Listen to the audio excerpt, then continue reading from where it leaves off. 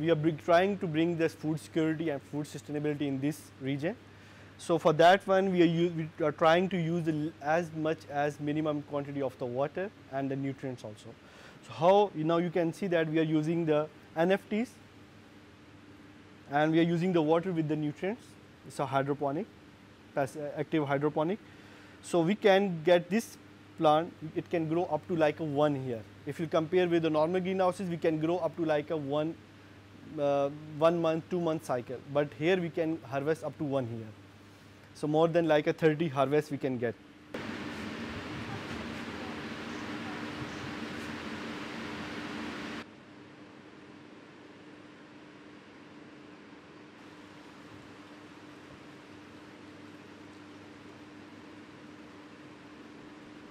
if you compare the production of the baby curly kale, so normally in the traditional farm we can harvest just in one square meter maximum 1 kg, one and a half kg uh, baby kale. But here we are going to harvest like on the daily basis 3 kg.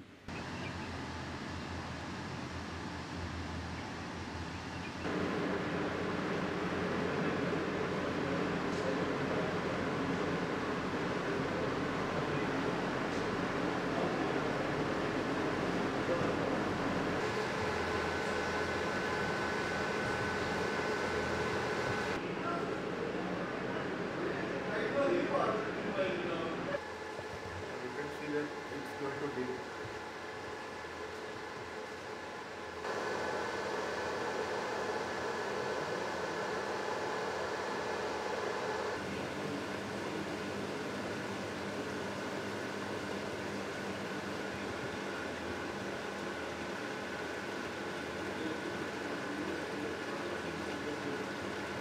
When we are getting new crop, we are trialing in here.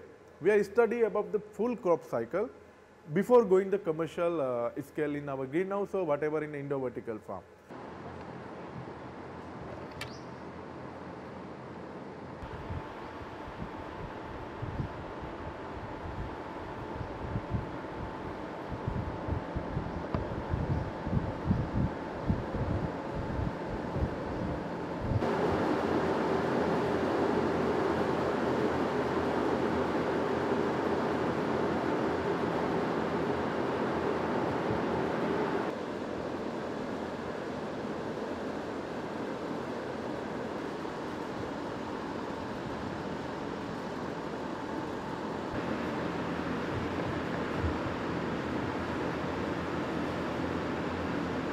Now in this one we are using the exhaust fan on the above of the cooling pad.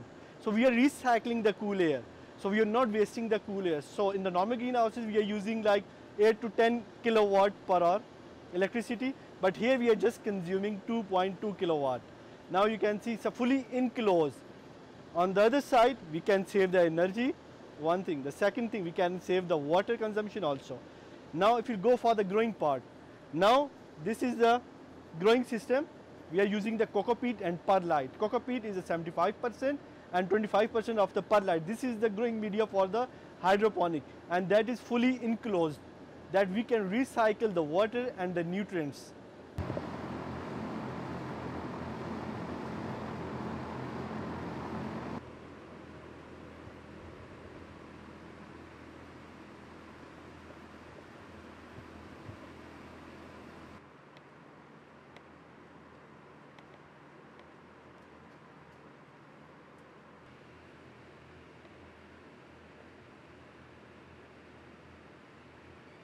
We are mixing the sand with the chicken manure and the cow manure.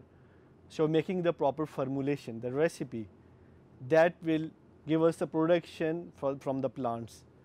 We are mixing with also like NPK for organic fertilizers, all that one. We are giving the fish manure, so that's how we can get the good high production with the high quality.